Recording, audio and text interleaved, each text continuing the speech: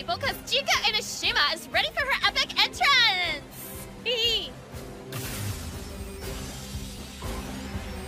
A ravishing young girl sits at the airport, waiting.